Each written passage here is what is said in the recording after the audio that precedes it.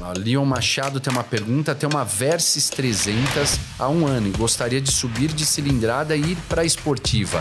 Caramba, muita mudança, hein? É, você tá num estilo de moto com uma moto 300. Se você vai subir já com uma esportiva, tenta pegar uma moto não tão radical. Vamos supor, vou para uma 600. Hoje, dentro da própria marca que você tá, tem sua moto da Kawasaki, você tem uma ZX6, que é uma moto super racing, um guidão baixo. Imagina o quanto que não vai ter de mudança. Você sai de uma postura super confortável para uma postura de pista.